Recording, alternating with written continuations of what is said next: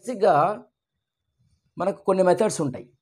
Like ఏంటంటే first of all you need to apply one method that is elimination method elimination method అనేది apply చేయండి. So this is one of the important trick అనమాట అంటే like మనకేంటంటే A B C D అనేటటువంటి options ఉన్నప్పుడు so ఏబిసిడిలలో ఖచ్చితంగా odd one ఏంటి అనేది చెక్ చేయాలి. సో ఆడ్ వన్ అంటే సిమిలారిటీ కాకుండా డిస్సిమిలర్గా ఏదైతే ఉంటుందో దాన్ని ఎలిమినేట్ చేయాలి. సో ఫర్ ఎగ్జాంపుల్ అలా మీరు ఎలిమినేషన్లో సే ఏ సి ఇలా ఎలిమినేట్ చేయగలిగారు అనుకోండి. దెన్ మీ దగ్గర బీడీ ఉంటుంది. లేదంటే లైక్ సిడి ఎలిమినేట్ అయిపోయి ఏబి ఉంటుంది. సో ఈ విధంగా ఎలిమినేషన్ టెక్నిక్ అప్లై చేసినప్పుడు మనకు స్కోరింగ్ అనేది ఏదర్ రెండు ఆప్షన్స్లో ఏదో ఒకటి కరెక్ట్ అయి ఉంటుంది కాబట్టి ప్రాబబిలిటీ మనం వేసినప్పుడు ఫిఫ్టీ పర్సెంట్ ఉంటుందన్నమాట. రైట్ అలాగే రెండోది ఏమరా అంటే మనకు ఈ లెంతీగా ఆన్సర్స్ అనేవి ఉంటాయి అన్నమాట ఆన్సర్స్ అనేవి ఎలా ఉంటాయి? లెంతీగా ఉంటాయి. సో లెంతీ ఆన్సర్స్ ఉండొచ్చు. At the same time all of the above అనేటటువంటి ఆన్సర్స్ ఉంటాయి. ఏబిసి ఇచ్చేసి D is all of the above లేదా నన్ ఆఫ్ ది అబోవ్ ఉంటుంది. కానీ నన్ ఆఫ్ ది అబోవ్ అనేది అన్నిసార్లు వర్కౌట్ అవ్వదు.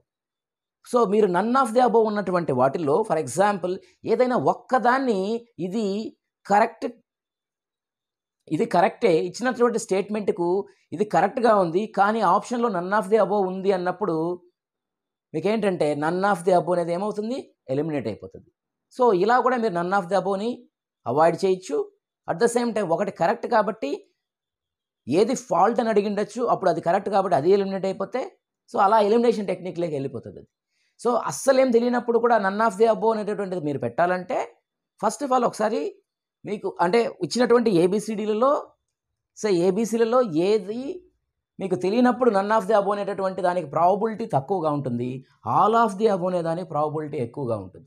సో కాబట్టి ఆల్ ఆఫ్ ది అబో అనే దానికి ఫర్ ఎగ్జాంపుల్ ఉన్నటువంటి వన్ సిక్స్టీ క్వశ్చన్స్లో ఒక టెన్ క్వశ్చన్స్లో మనకు ఆల్ ఆఫ్ ది అబో ఉంటే సో ఈ ఆల్ ఆఫ్ ది అబో ఉన్నప్పుడు అస్సలు తెలియనప్పుడు చెప్తున్నాను. అస్సలు తెలియనప్పుడు ఆల్ ఆఫ్ ది అబో మీరు పెట్టినా కానీ సో ఇక్కడ మీకు ప్రాబిలిటీ సెవెంటీ పర్సెంట్ ప్రాబిలిటీ ఉంటుంది అనమాట అంటే పది క్వశ్చన్స్లో మీరు సెవెన్ క్వశ్చన్స్ కరెక్ట్గా తె- తెచ్చుకోగలరు.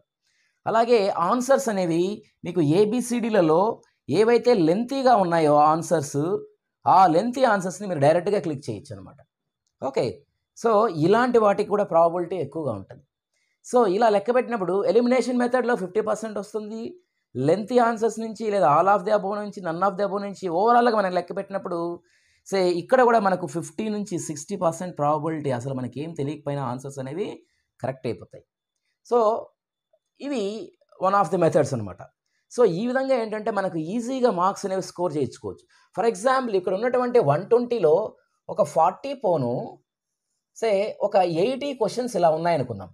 రైట్ ఎయిటీ క్వశ్చన్స్లో ఈ ఎలిమినేషన్ మెథడ్ అలాగే lengthy answers all of the above none of the above ఇలాంటి వాటిని మీరు లెక్క వేసుకుంటే మనకు ఫిఫ్టీ నుంచి సిక్స్టీ పర్సెంట్ మార్క్స్ ఈజీగా వచ్చేస్తాయి. అంటే ఎయిటీలో ఫిఫ్టీ పర్సెంట్ ఎంత? Forty marks right so already మన దగ్గర ఎన్ని ఉన్నాయి? ఫార్టీ ఉన్నాయి. మనం గెయిన్ చేసుకున్నటువంటి మార్క్స్ ఈ మెథడ్ ద్వారా మనకు వచ్చినటువంటి మార్క్స్ ఫిఫ్టీ పర్సెంటే సిక్స్టీ కూడా వద్దులేండి. ఫిఫ్టీ తీసుకుందాం.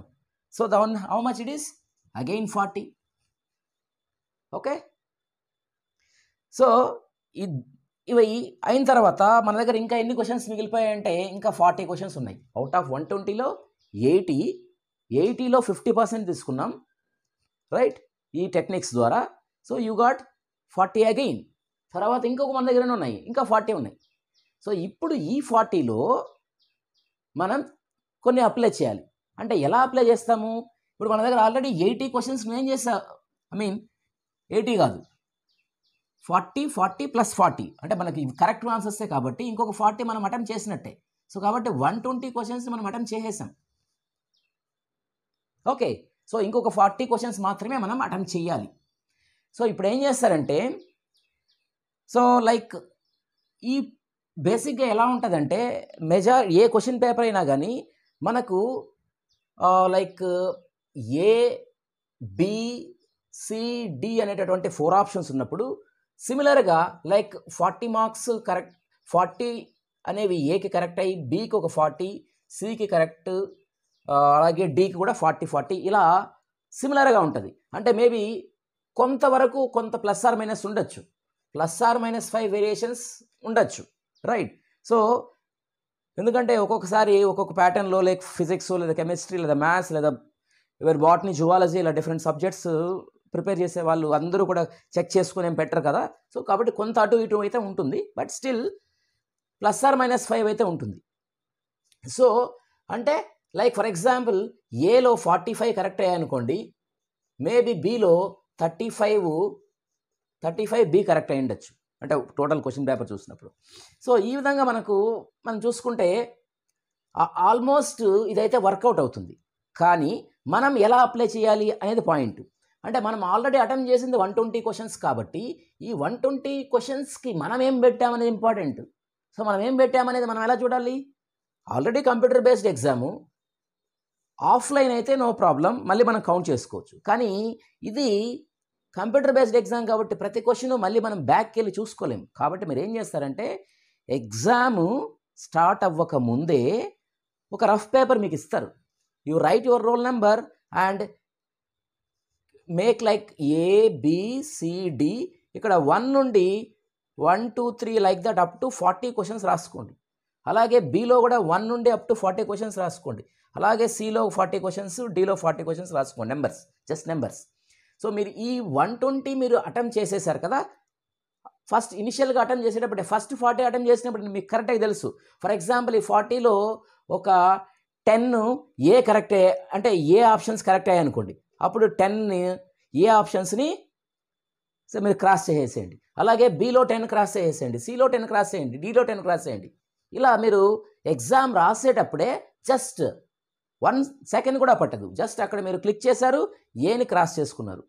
ఈ విధంగా మీరు కంప్లీట్ చేసి ఉంటారు కాబట్టి ఫర్ ఎగ్జాంపుల్ మీరు ఇలా వన్ ట్వంటీ క్వశ్చన్స్కి అటెంప్ట్ చేసేసారు రిమైనింగ్ ఫార్టీ క్వశ్చన్స్. సో ఇప్పుడు మీరు లెక్క చూసుకుంటే ఇప్పుడు లెక్క వేసుకోవచ్చు అసలు మీరు ఏలు ఎన్ని పెట్టారు బీలు ఎన్ని పెట్టారు సీలు ఎన్ని పెట్టారు డి ఎన్ని పెట్టారు మీకు తెలుసు కాబట్టి ఏదైతే తక్కువ కౌంట్ ఉంటుందో దాన్ని మీరు any one like for example మనకు ఈ కౌంట్లో చూసినప్పుడు మీరు సి అనేది తక్కువ count పెట్టారనుకుందాం so you can keep the rest of forty for C so మరి సిలో ఎన్ని కరెక్ట్ అవుతాయి? ఆల్రెడీ మీకు మేజర్గా ఏంటంటే మనం చూసినప్పుడు ఇక్కడ సి తక్కువ వచ్చాయి కాబట్టి ఇక్కడ సి వచ్చే ప్రాబిలిటీ ఎక్కువ ఉంటుంది కాబట్టి మీరు పెట్టే వాటిల్లో సుమారు ఒక థర్టీ టు ఫార్టీ పర్సెంట్ ఈజీగా అవే అయి ఉంటాయి అన్నమాట for example thirty percent అయ్యాయనుకోండి. How much it is twelve marks. Okay లేదు forty percent అయ్యాయనుకోండి. How much it how much it is sixteen marks. Right so నేను లెస్ నెంబర్ చెప్పాను. కానీ ఈ మెథడ్లో మనం ఎలిమినేట్ చేస్తూ వెళ్ళాం కాబట్టి even this also reaches to fifty percent మరి ఫిఫ్టీ పర్సెంట్ అంటే ఎంత? It is ఫార్టీలో fifty percent twenty marks so total is how much hundred marks hundred marks వచ్చేసాయంటే yes you are below thousand rank okay